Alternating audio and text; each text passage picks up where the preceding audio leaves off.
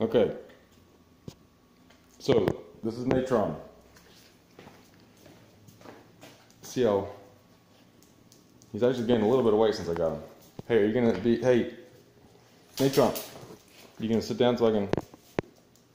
You gonna sit down so I can tell him about you? Huh? Okay. This is him. See how skinny he is? Oh, easy, don't fall now. Don't fall. Okay. He, uh. Anyways, hey, hey, hey, calm down. Okay, so he is probably about, the thing about five years old. Picked him up the other day. There he goes. And, um,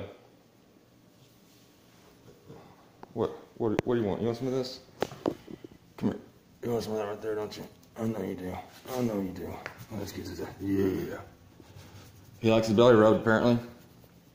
But he, uh, he's silly. Like all pits, you know.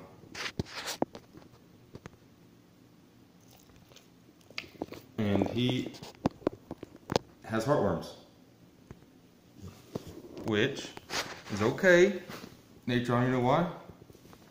Corbin gets fixed up. Okay?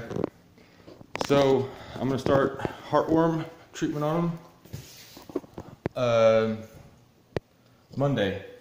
I know, it's okay, it's gonna be alright. So he's not feeling real good right now. Oh, easy, easy. And and so we got to put weight on him, and we got to get him feeling better from these heartworms. Isn't that right, buddy? I know. I know, buddy. So he's a sweet little boy. Hey, hey, hey, hey, hey, hey, hey, hey. Back it up. Anyways, so he currently weighs. Back up, bud. Hey, uh, okay.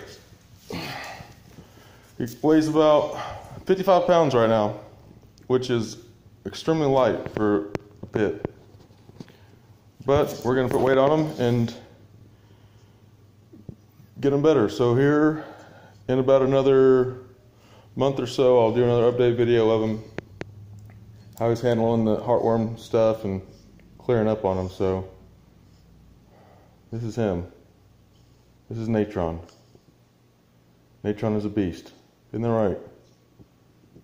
So, hey, Natrone, say I'm a beast. Say I'm a beast.